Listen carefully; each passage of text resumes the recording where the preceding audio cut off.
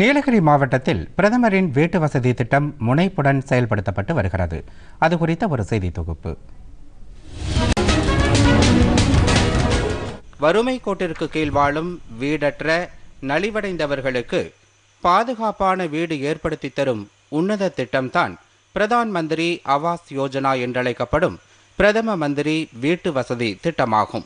நீலகிரி மலை மாவட்டத்தில் பல்வேறு இடர்பாடுகளிடையே இத்திட்டம் மக்களின் ஈடுபாட்டுடன் முனைப்புடன் செயல்படுத்தப்பட்டு வருகிறது.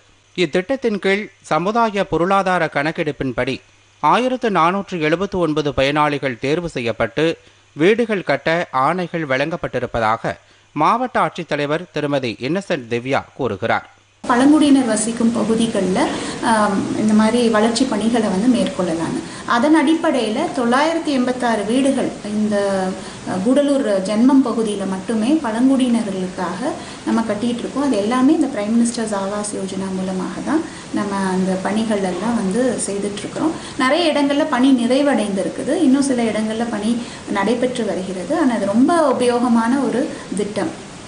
இத்திட்டத்தின் கீழ் தேர்வு செய்யப்பட்டவர்களில் பெரும்பாலானோர் பழங்குடியினர் மற்றும் ஆதி திராவிடர் வகுப்பை சார்ந்தவர்கள் என்றும் அவர் கூறுகிறார். இது வந்து குறிப்பாக எல்லா பழங்குடியினர் பகுதிகள் எஸ்சிகள் வசிக்கும் பகுதிகள் மற்றும் மற்ற இதர வகுப்பினர் வசிக்கும் பகுதிகளில் நிறைய கொடுத்துருக்குறோம். குறிப்பாக வந்து சில ஏரியாஸை சேச்சுரேட் பண்ணுற விதமாக தேவர்ஷோலா டவுன் பஞ்சாயத்தில் மட்டுமே அறுநூற்றி எண்பத்தாறு வீடுகள் கட்டுறதுக்கான ஆணைகள் வழங்கப்பட்டிருக்குது.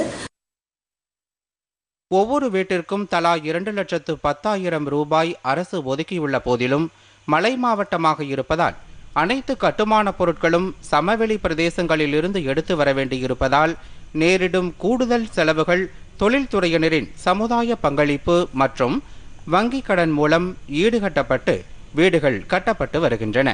குறிப்பாக கூடலூர் பகுதியில் ஜென்மம் நில பிரச்சினை தொடர்பாக உச்சநீதிமன்றத்தில் வழக்கு நிலுவையில் இருந்த போதிலும் மாவட்ட நிர்வாகம் சிறப்பு அனுமதி பெற்று நாற்பது ஆண்டுகளுக்கு பிறகு பழங்குடியின மக்களுக்கு தொள்ளாயிரத்து எண்பத்தி ஆறு வீடுகள் கட்டித்தரப்பட்டுள்ளதால் இத்திட்டம் மிகவும் பயனுள்ள திட்டமாக திகழ்கிறது.